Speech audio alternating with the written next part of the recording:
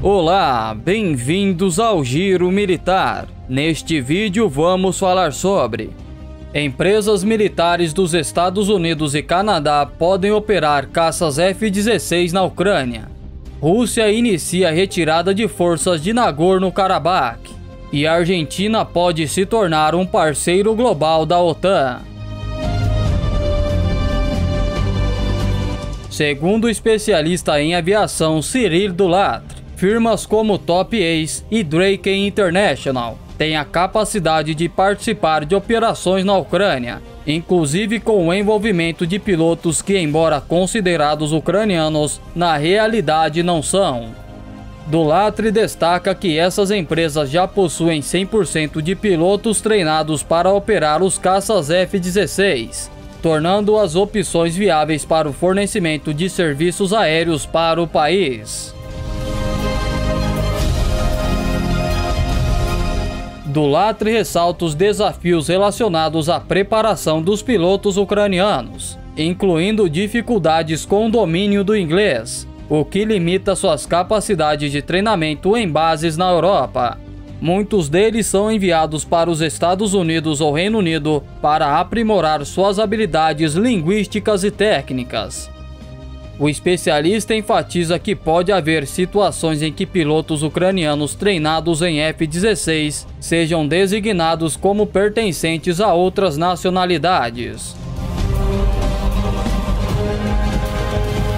O processo de treinamento para operar os caças F-16 envolve etapas meticulosas, conforme explicado por Dulatre.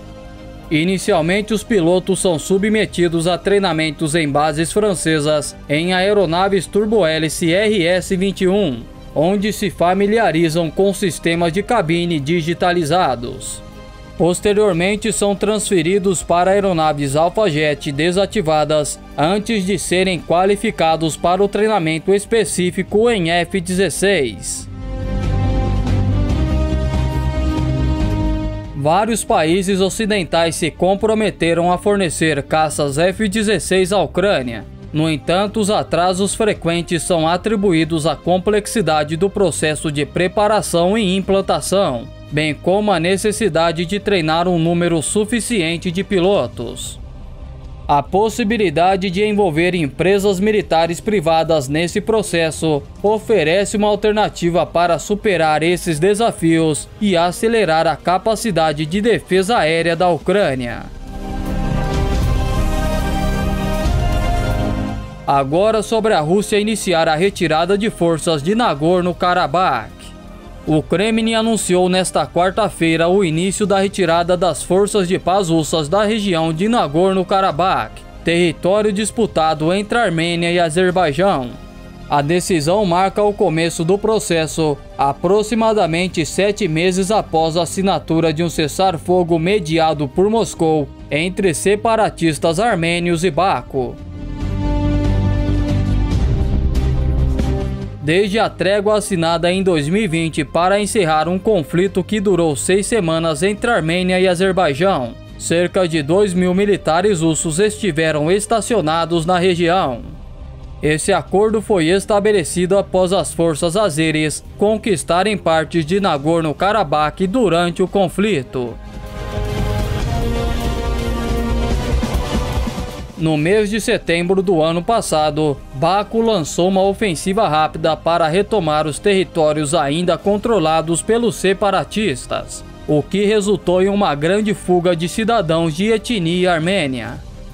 Embora Nagorno-Karabakh seja reconhecida internacionalmente como parte do Azerbaijão, durante quase três décadas foi controlada por armênios, que era a maioria na região. A retirada das forças de paz russas marca um novo capítulo na dinâmica da região e levanta questões sobre a estabilidade e a segurança a longo prazo em Nagorno-Karabakh. O processo de retirada está sendo acompanhado de perto pela comunidade internacional, dada a importância estratégica e histórica da região. Agora sobre a possibilidade de a Argentina se tornar um parceiro global da OTAN. O ministro da Defesa argentino Luiz Petri anunciou nesta quinta-feira que a Argentina formalmente solicitou tornar-se um parceiro global da OTAN. Essa decisão foi tomada após uma reunião em Bruxelas para receber a carta de intenção que marca o início deste processo. A Argentina atualmente busca seguir os passos da Colômbia, sendo a única nação da América Latina a deter esse status.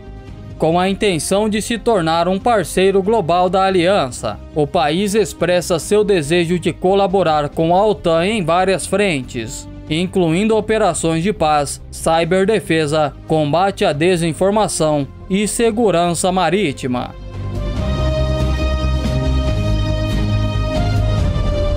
Em declarações feitas em sua conta na rede social X, Petri confirmou o pedido e reiterou o compromisso do país em fortalecer os laços que permitam modernizar e capacitar suas forças armadas de acordo com os padrões da OTAN.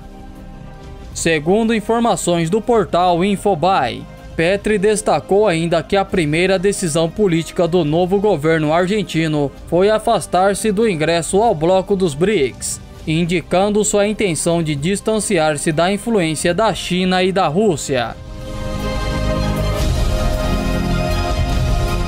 De acordo com a OTAN, os parceiros globais colaboram com os membros da aliança por meio de compartilhamento de informações e participação de operações militares.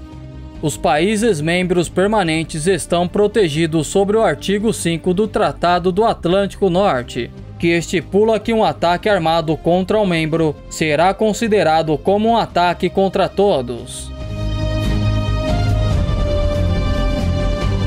Na categoria de parceiros globais que não estão protegidos sobre o artigo 5, incluem-se países como Afeganistão, Austrália, Iraque, Japão, República da Coreia, Mongólia, Nova Zelândia, Paquistão e Colômbia. A aceitação formal da Argentina como parceiro global ocorreu em 2018, após um processo de aprovação que se estendeu por cinco anos. Este movimento evidencia o compromisso do país em fortalecer suas relações internacionais e contribuir para a segurança global juntamente com a aliança.